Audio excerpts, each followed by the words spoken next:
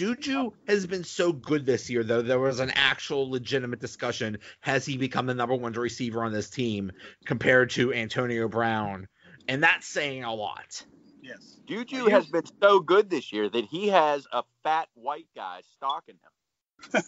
oh my God. That's how good he's been, folks.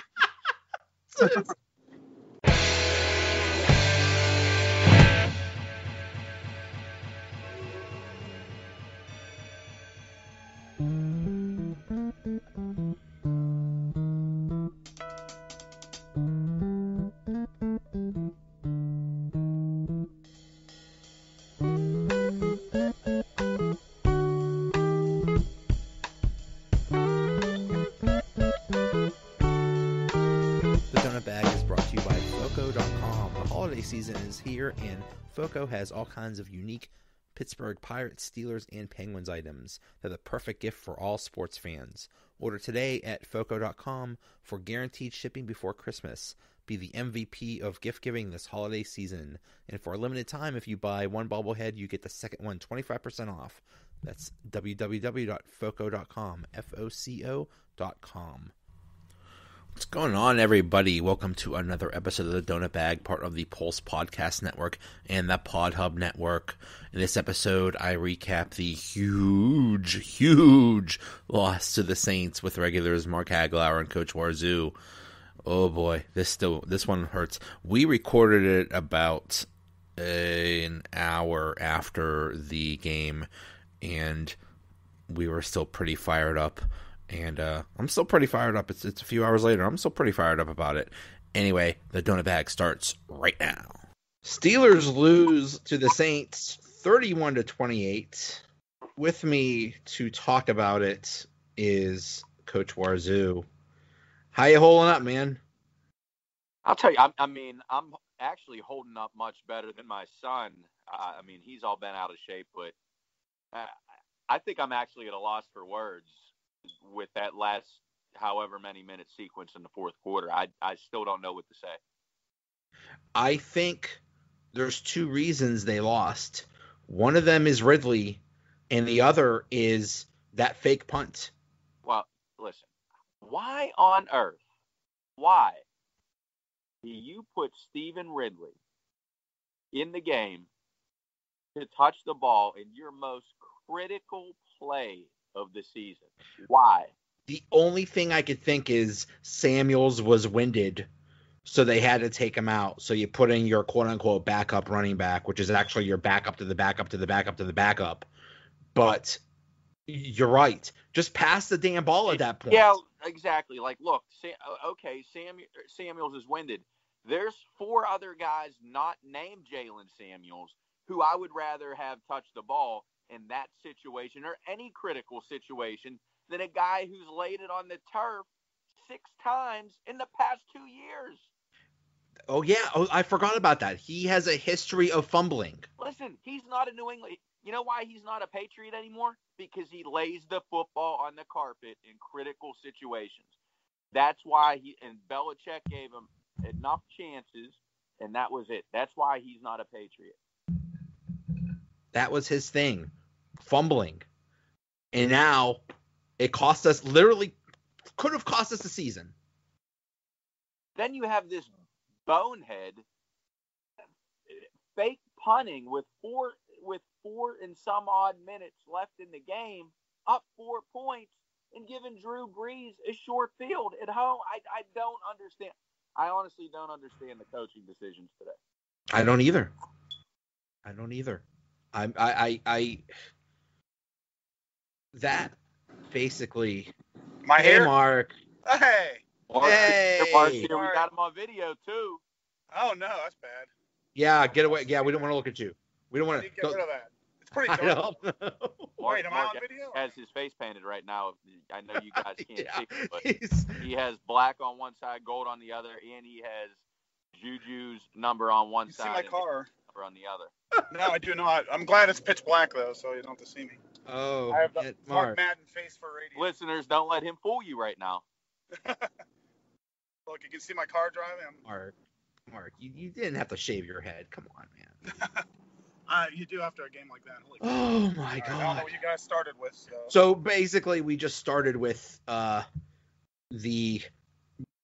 To, to me, I said the two reasons why they lost was Ridley and the fake punt. Uh, it's two of them, I think. That fake punt was aggressive and oh so close again, and the Ridley thing I think maybe was more so than the fake punt.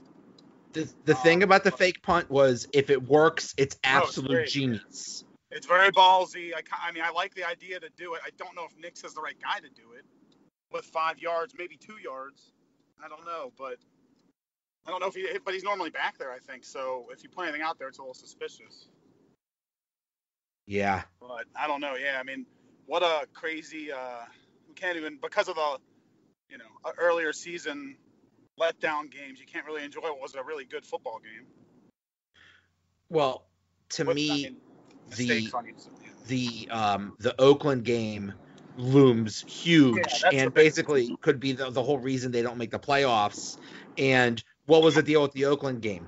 Ben was hurt. He could have come in. Oh yeah, and it's true. they they decided the coach decided to keep him out and they lost.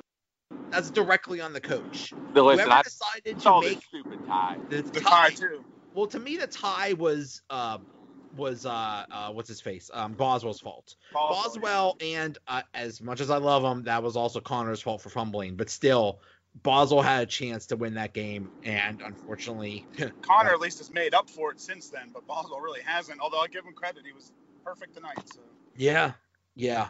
Uh, oh man. Um, well, now let me ask, well, not to like, hijack it with a question, but so we have the that decision you were talking about with the Raiders uh, co- on the coaching and the going for it on fourth down.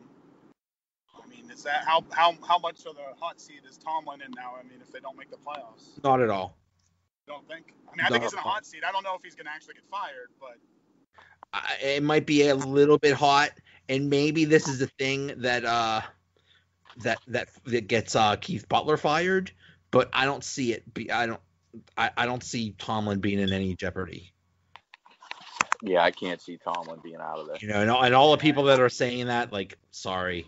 Well, I, I mean, I, I see it being at least eyebrow raising, if nothing else. I'm not saying he should necessarily be, and I'm not saying he will be. But at this point, I mean, there were so many. You got all the letdown games. It's a combination of everything. They're wasting all this talent right now out there. All this talent. They're underachieving like crazy. And it's usually because of one or two games where they may not get a bye or they may not make the playoffs. I mean, at least I think he should should be on the hot seat. the thing that oh he should be. You're right, should be. Yeah, But should he won't. It's not. It's not the quote unquote Steelers way. And I mean, in you know, in his defense, the guy's never had a losing season. So you know, it's kind of hard to say, hey, you're fired. No, you're right. You're absolutely right. With with Yeah, all the some- talents that they have, that they have massively underachieved. You know, I mean, how many times have you had? I, I think I asked this once. When you have the one of the best quarterbacks, best wide receiver, and best running back in the league, and you don't, you, you, you fail this bad. The last time I know of this happening was those Colts teams with uh, Peyton Manning, Marvin Harrison, Yeah. and Ed. That was about it. Yeah, and it was sort of a similar situation with those teams where a couple of the years they just didn't have the defense to pull it off. But this year, I mean, I don't know. I don't really blame the defense all that much in this game. I mean, I guess they had the lead and they let it up, but I don't blame the well. I defense. think It- close to the second And half. how ironic is it that those teams that underachieved were coached by who? Tomlin's mentor, Tony Dungy. Like oh, that. look at that! It's coming full circle. I like it. Tony Dungy's teams were notorious for underachieving. They would get to a certain point, like in the of each uh, reach success, and then they would just just crap out. Uh, so yeah, yeah, that, that's a good point. But that's that's what's so frustrating. Last week they just they just I don't want to say dominated New England, but they they handily Basically, beat them. they controlled the game at least. And for them to go into New Orleans And that Against- well. and that team is really good. I mean, Drew Brees showed why he's one of the best. That offense is amazing. The defense is very good. They were at home. Oh, and they had the refs um, on their Oh, side geez. too. Yeah, the home homer refs that uh, had the Yeah, it was bad. of what like eighty percent of the calls. That's insane to me that they would let like if you go through a season and you see something that lopsided, you might want to send them aside or take them off the roster of coaching. I mean, refing the games because you can't be making. I mean, I could see 60-40, but early on, that one that that pass interference call was almost like it's just one of those things. It's like the whole season was filled with close plays like that that were either bounced out of bounds in the end zone or things like that. So the pass interference call, uh, that was that was uh, New Orleans' first touchdown. Yeah, they put it on the one, so they basically got it. I don't know if that was Yeah, down yeah, or basically, They yeah. an easy touchdown. Um, Yeah, that was third down. That was a that was a play where other referees, people that used to be referees, stated, "What are they doing? That's not a that's not a uh, th- that's not a uh, pass interference. What are they doing? That's pathetic." And then what about the whole like that was not catchable for any imagine it was Wilt Chamberlain with Michael Jordan jump couldn't have caught that. So what happened to the whole like it was over his head type of thing they don't call it. That that angered me just as much as the. Here's what here's what Gene Steratore said. Even though Joe Haden did have a hand on the receiver prior to the ball being there, he should not have been penalized for pass interference on this play. This contact did not affect the receiver and is not severe enough to warrant a flag.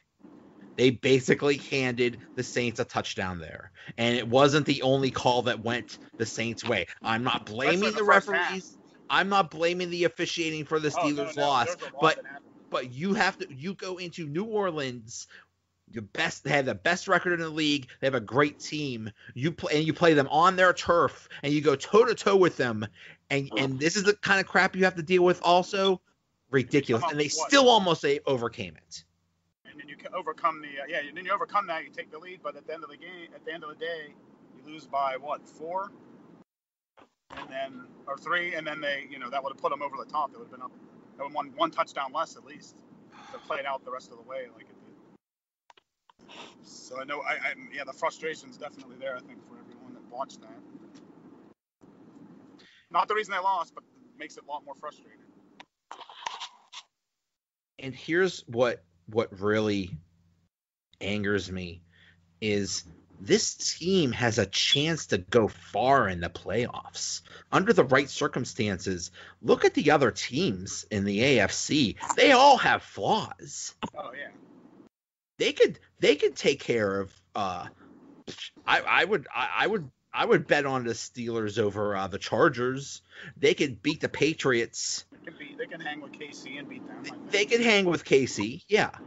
Um, Houston, I'm not sure about. Maybe, probably, but th- every team is has has flaws, but they're they're might not make the playoffs, and it's just Crazy. it's so frustrating.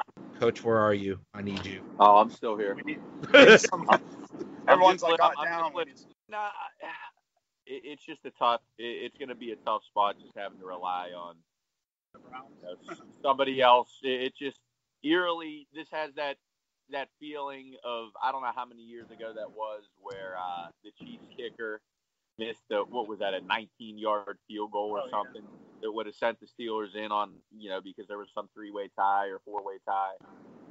I It- remember that. Yeah. it, I, I just hate relying on help from other teams. Here's what we need to do. We need to adopt a Browns fan. Find uh, somebody. I'm sure we all know somebody who likes the Browns. Adopt them, give them a present, send them good vibes, something. We not we all need to become Browns fans for next week. I mean, this will be like the Browns Super Bowl, so they'll be fired up. And I mean, the Ravens are hard to beat at home, but Browns are going to make it hard at least at the very least. I don't think Listen, they'll be easy wins. Cleveland, they took your team. Remember that. They stole your Yes, team. exactly. Get that Art Modell anger back in you. Yeah.